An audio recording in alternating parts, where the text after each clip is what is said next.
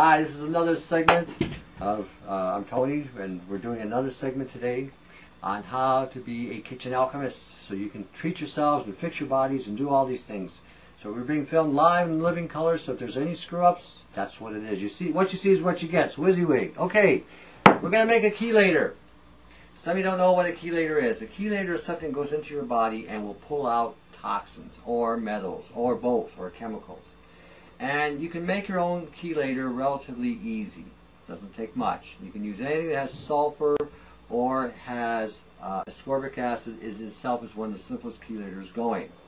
What we're going to use today is we're going to use a glass, EDTA, MSM, vitamin C, baking soda. Okay. What we're going to add water, distilled water, reverse osmosis water, or a really, really, really clean water, double distilled, whatever. What we're going to do here is I'm going to show you how to put this together so that if you have any kind of exposure to arsenic, lead, mercury, aluminum, or other metals that you may have been exposed to as a result of working in the automotive industry or a manufacturing industry or something to that nature, or because you've got chemtrail exposure and you're getting a lot of barium and aluminum. This can help pull some of that out. Now, what we're going to do is we're going to take EDTA, okay, it's a white powder. You can order this by bulk at purebulk.com. Again, I don't endorse anybody, but if you've got something that works, I will let you know what I, what I, in my humble opinion, will, works and products that I think are good. Anyway, you're going to take about a gram, 1,000 milligrams. This is a guesstimate here, okay, just so you know. You don't have to be super precise. A little bit here, a little bit less, a little bit more isn't going to kill you. All right? Now, unless you're making a bomb, then then then you know maybes and oops, you know that can hurt you. But this isn't going to hurt you. All right. MSM powder, you're going to use approximately 2 grams. If you go more than 2 grams, do not sweat it, okay? Don't sweat the small stuff, okay? The idea is MSM is a water-soluble sulfur. You can take the whole thing, put it in there and drink it, and the worst thing that happen to you is you'll be on the throne thinking deep, deep, deep, deep, deep thoughts. So don't sweat it, okay? Your body will utilize what it needs and dumps the rest. We're using this because it is a sulfur-based, okay? And so approximately, that's more like 3 grams. Okay, 2 grams. 1, 2. Okay? If I'm off a little bit, it's no big deal. And again, we're showing you everything living color so that you know that if you make a mistake or you think you put too much in there, don't throw it away. Don't waste it. It's not going to hurt you. Now, vitamin C, another 2 grams. If you go up higher, you can take the vitamin C at a higher dose, by all means. Okay, so I'm going to put that much. Okay? I'm using a little wee spoon. Now, if you want to be technical, weigh it out, measure it, do whatever. Okay? It's not necessary. Now, and add the magical ingredient. The stimulation of stimulation. Water. Clean water. Okay? Two ounces, three ounces. Alright. Stir it up a little bit before you put the baking soda in. Now, okay, baking soda, you're going to use about quarter teaspoon, half teaspoon, not much. Whatever it takes to stimulate the agitation. We want this to bubble and, to, and boil and trouble and everything else because you want this to carry this into the system as quickly as possible. Okay, It's going to go down there, it's going to oxygenate the system, it's going to work with the vitamin C. Basically, you're making uh, um, uh, potassium ascorbate, or sorry, not potassium ascorbate, sorry, sorry, sorry, sodium ascorbate. Sodium ascorbate is a very potent uh, antioxidant that cleans the cells and kills cancer. Okay, just so you know. Now I'm just going to guesstimate this. Just going to put it in. Okay, see it bubble? I'm going to drink this.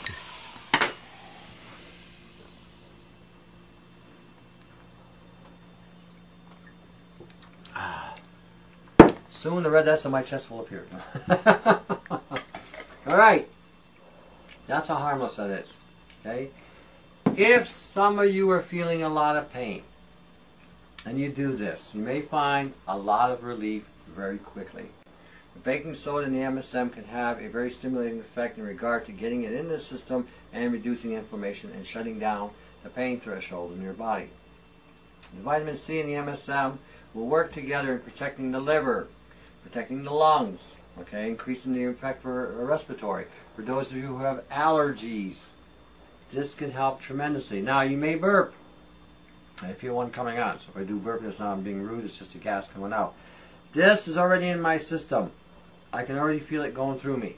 Now, some of you may have to do this for a couple days. But this is a simple chelator. Now, if you did this every night before going to bed, you may find the next day when you get up, you're hitting the washroom. Um, you may find that if you have a lot of yeast, you may find the yeast will start all of a sudden going. Some of you may start seeing metals coming out into the into your uh, into the washroom. So keep that in mind. You, some of you may find all of a sudden aches and pains in your body are starting to diminish. You might feel more, a little bit more flexibility because of the vitamin C in it. Okay? This can boost the immune system. This can kill cancer cells. All right? You can put it together for pennies. You can do this every night before going to bed, if you like. If you want to modify this, even let's say you want to add some DMSO to this, all right? 5% uh, solution. Do not go beyond 5%. Use about a dropperful or about a half a teaspoon. Put it in there with it.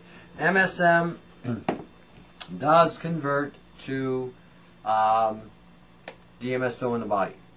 Okay, so it's going to help, again, carry the vitamin C, the sodium into the cells and clean up the cells as well. Alright? So I wanted to point this out to you for some of you who are having skin issues, some of you having intestinal issues, some of you having uh, um, cellular issues, congestions, you know, in the arterial lining, having problems breathing, having problems going to the washroom, having intestinal problems. MSM is one of those things that can repair the intestinal tract, can repair tuberculosis, Crohn's, IBS, leaky gut. Okay, If you are going to be using it for that purpose, all bread has to stop. Bread, bread facsimiles like crackers and cookies and cakes and tortillas has to stop. We oatmeal for a short period of time has to stop.